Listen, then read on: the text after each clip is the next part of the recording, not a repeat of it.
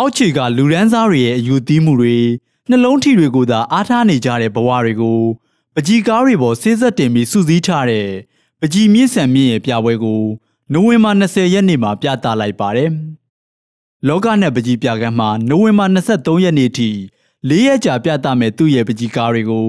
တစုတစည်းတည်းပြသနိုင်ဖို့3လလောက်အချိန်ယူခဲ့ရတယ်လို့ပြောဆိုပါတယ်။အဲကနန်းကိုရေးတဲ့ကြောထစ်ထားတဲ့အကြောင်းရင်းကတော့သူကဟိုအခြေခံလူနန်းစားတွေကြားထဲမှာ ပြန့်နှံ့နေတဲ့ကနန်းတွေရှိတယ်လေအဲကနန်းတွေကိုဒါနည်းနည်းစတေးရဆန်ဆန်ပေါ့ဒီပြထားကြည့်တယ်တွေးကြလေးကခုနလိုပြောတယ်ကနန်းလေးတွေရဲ့ပြန်တန်းနေတဲ့ကနန်းတွေပေါ့အဲကနန်းတွေရဲ့ဘာဖြစ်လို့ပြန်တန်းနေတာလဲအဲအဲ့ဒါလေးတွေးကြည့်စရာတယောက်နော်တွေးကြည့်စရာတယောက်ပြကန်းတွေကသူကြိုက်နှစ်သက်တဲ့ပကြီးကားသုံးကားကိုလည်းပကြီးမြင့်ဆန်မြင့်ကရှင်းလင်းပြောဆိုခဲ့ပါတယ်။ပကြီးကားတွေရဲ့တန်ဖိုးကိုတော့အမေရိကန်ဒေါ်လာနဲ့သတ်မှတ်ထားပါတယ်။